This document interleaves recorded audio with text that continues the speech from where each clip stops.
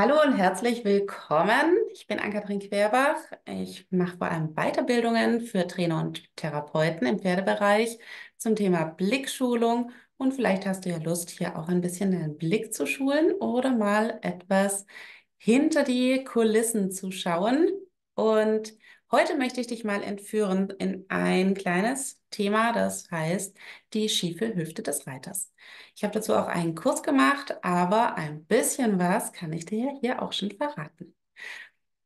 Wir hatten das ähm, Bootcamp Riders Perfection mit der Sina Schäfer. Wir haben auch einen Podcast zusammen. Müsst ihr mal reinhören. Richtig spannend. Jedenfalls haben wir da das Thema den Reitersitz perfektionieren besprochen. Und da gehört natürlich auch einiges dazu.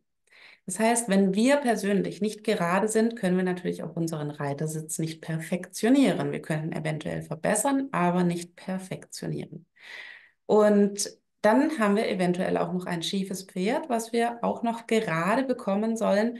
Und aus dieser ganzen Geschichte ist ein ganz, ganz toller Kurs entstanden, Riders Skew.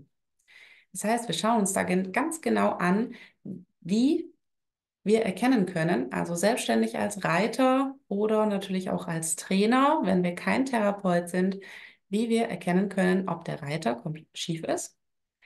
Ich zeige dir sogar, wie du den Reiter gerade bekommst, wie wir erkennen können, ob das Pferd schief ist und welcher Therapeut da helfen kann und wie wir natürlich jetzt auch noch die Hilfengebung dementsprechend verbessern.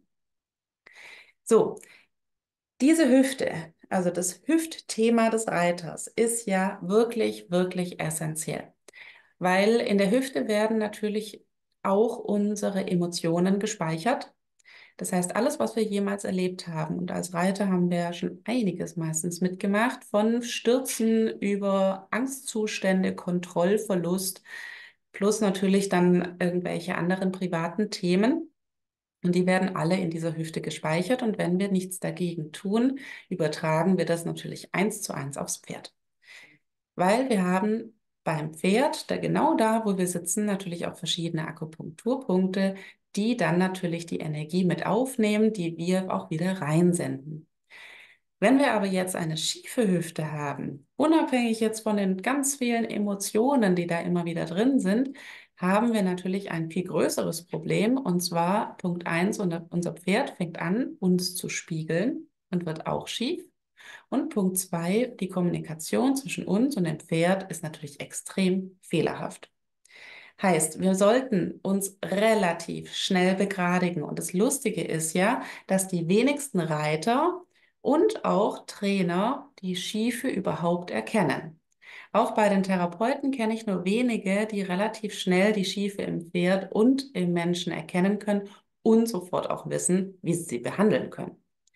Also, das heißt, wenn du jetzt Trainer bist oder natürlich auch Reiter bist, würde ich dir eins mal empfehlen, einmal bei dir und vielleicht auch bei den Reitschülern, macht mal wirklich Fotos von euch, von vorne, von hinten. Im Optimalfall natürlich, ohne dass es jemand sehen kann, lasst ihr euren Partner wenn ihr nackig seid, mal den Rücken fotografieren und schaut es euch an. Wie laufen dann da die Wirbel? Sind die schief? Haben, machen die so eine S-Kurve oder gehen die gerade hoch? Wie sieht das Pferd von vorne aus? Wie sieht es aus, wenn wir oben drauf sitzen? Sind unsere Knie auf der gleichen Höhe? Was ist, wenn das Pferd von hinten aufgenommen wird? Ist denn da alles gleich groß, äh, also gleich hoch? Weil das ist natürlich auch super, super spannend. Und wenn du Lust hast, nehme ich dich mal ganz kurz mit in eine kleine Mini-Präsentation. So, diese beiden Bilder sind entstanden bei meinem Buch, jetzt muss ich gerade überlegen, ähm, Pferdegymnastizieren war es, genau. So, was wir jetzt hier ganz schön erkennen können, weswegen ich auch gemeint habe, macht mal Fotos von euch, während ihr auf dem Pferd sitzt. Ähm, dass wir zum Beispiel hier das Knie sehr weit oben haben und hier ist es eigentlich fast auf unserer Linie, die ich hier eingefügt habe. Ja, weil mit so einer Linie kann man das natürlich immer relativ schnell dann auch anschauen, ob das denn so passend ist oder nicht. Und wenn wir jetzt von hinten schauen, sieht es im ersten Moment ja relativ gerade aus. Wenn wir uns das aber ganz genau anschauen, wir bleiben mal hier, sehen wir, dieses Knie war ja ein Stück weiter höher. Hier knickt die Reiterin in der Hüfte ein und diese Schulter wird mechanisch gehalten, also wirklich mit Muskelkraft an dieser Stelle gehalten. Warum ist das so? Ähm, es ist eigentlich eine ganz, ganz typische Geschichte für einen Rechtshänder, dass es genau so aussieht, ja, dass das Knie ein bisschen höher ist, dass äh, wir da die Hüfte verschoben haben, also eine, also ein Einknicken in der Hüfte haben, weil die meisten Rechtshänder auch natürlich ihre Hüfte so ein bisschen weiter unten haben. Ja, wir, ihr kennt das alle. Wir stehen auf einem Bein. Ein Bein stellen wir immer so ein bisschen weg oder ist ein bisschen angewinkelt oder wird sogar überschlagen, je nachdem. Also es ist irgendwie so ein langes Bein da, ja. Und genau diesen Punkt, den haben wir natürlich in Riders Q in Perfektion komplett einmal durchgegangen, wie ihr natürlich auch die Hüfte begradigen könnt, wie ihr allgemein euch begradigen könnt und wie ihr natürlich das auch erkennt. So, Wichtig ist, wir als Reiter oder auch natürlich als Menschen an sich, wir möchten immer, dass unsere Augen auf einer Höhe sind, also auf der horizontalen, weil wenn wir so schief gucken, außer wir sind natürlich Reitlehrer und stehen immer in der Mitte, dann machen wir es jetzt furchtbar gerne so. Aber wenn wir so schief gucken, dann werden wir auch relativ schnell müde. Ihr kennt es bestimmt, ihr sitzt vorm Fernseher, einmal so in die Schräglage gekommen und zack, wird man dann irgendwann sehr, sehr müde und schläft ein vor allem nach einem langen Stalltag. So, das heißt also, unsere, unser Reiter möchte auch immer, dass die Augen auf der horizontalen sind, sprich symmetrisch zu unserem Boden, okay? Und der ganze Körper versucht dann aber irgendwie dieses Gefühl von gerade hinzubekommen. Das heißt, wenn wir jetzt eine schiefe Hüfte haben, knicken wir in der Hüfte ein um zumindest das Gefühl zu haben, wir sitzen gerade auf dem Pferd. Jetzt haben wir also da so einen Schlenker drin. Jetzt muss aber die Schulter wieder an die richtige Stelle, weil ansonsten, wir wissen ja, sieht ja doof aus, will ja keiner so da sitzen, also ziehen wir die Schulter hoch. Okay, also jetzt sehen die Schultern schon mal gerade aus, die Hüfte scheint auch gerade zu sein, nur halt in der also haben wir, also haben wir unsere Hüfte abgeknickt, aber das sieht ja keiner, wenn wir jetzt einen dicken, fetten Pulli anhaben oder so. Aber das Pferd spürt es natürlich richtig gut. Also, das heißt, da müssen wir unbedingt darauf achten, dass wir dann natürlich einen guten Therapeuten auch für uns selber finden, dass wir immer schön gerade sind, weil wir ansonsten natürlich dem Pferd richtig viele blöde Sachen aneignen. Sprich, plötzlich kommt der Rückenmuskel weiter nach oben, weil wir da gar nicht sitzen und das Pferd kann sich nicht mehr richtig biegen oder wir haben Ausweichmechanismen der Hinterbeine, die dann plötzlich unter das Zentrum fußen, weil wir von oben eben eigentlich das Kommando so gegeben haben, obwohl wir es gar nicht wollten. Und der nächste Punkt ist natürlich, wir klemmen auch, wenn es blöd läuft, leider auch sehr häufig, die Schulter des Pferdes ein. Jetzt kann es gar nicht mehr raumgreifend nach vorne treten. Wenn es nicht mehr raumgreifender nach vorne tritt, tritt es eher nach oben oder fängt an zu schlurfen. Das sind alles Punkte, die natürlich dann wieder zu Blockaden führen und dann wieder zu krankmachenden Symptomen, sprich, wir müssen einen Tierarzt holen oder natürlich einen Therapeuten.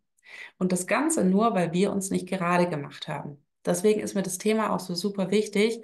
Wenn du anfängst, dein Pferd zu trainieren, dann musst du dich selber erstmal gerade machen. Und dann hilft es dir nicht, nur den Aus nur einen Ausgleichssport zu machen oder auf irgendwelchen Bällen rumzurutschen oder sowas, sondern du musst wirklich jeden Wirbel an die richtige Stelle bekommen, dass die Statik passt. Weil erst wenn die Statik passend ist, kannst du deine Muskulatur da drum herum formen. Und dann macht Ausgleichssport Sinn. Dann macht es Sinn, viel auf dem Pferd zu sitzen. Und gerade wir Trainer, wir kennen das nur zu gut. Wir sitzen auf irgendeinem bockenden Pferd, plötzlich zack, wir sind schief. Wir sitzen aber jetzt gleich auf dem nächsten Pferd und komischerweise nach ein paar Monaten, wenn wir uns nicht begradigt haben, sind alle Pferde gleich schief. Wir haben keine linkshändrigen und rechtshändrigen Pferde mehr, sondern wir haben nur noch zum Beispiel rechtshändrige Pferde. Und daran sind wir aber dann schuld. Das ist nicht so geil. Und wir machen natürlich unseren Körper auch noch kaputt. Ich habe bis heute noch so einen blöden Wirbel, der immer zur Seite schnalzt, wenn ich bestimmte Abläufe mache, die ich eben früher sehr häufig gemacht habe und muss jeden Tag diesen blöden Wirbel wieder, wieder an die richtige Stelle bringen. Weil ansonsten, wenn ich natürlich die Pferde reite, habe ich auf Dauer genau an dieser Stelle, wo mein Wirbel schief ist, auch den Wirbel von den Pferden schief. Und jeder Wirbel steht ja auch für eine emotionale oder beziehungsweise mentale Sache und bringt natürlich auch noch Krankheitssymptome mit.